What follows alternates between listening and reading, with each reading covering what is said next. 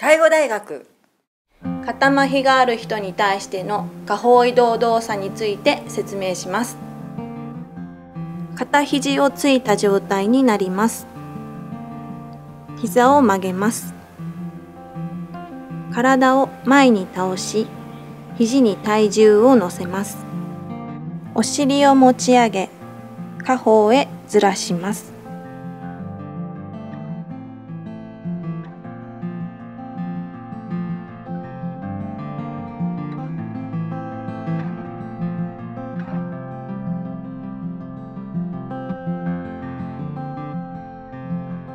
肘にしっかり体重を乗せるとお尻が持ち上がりやすくなります。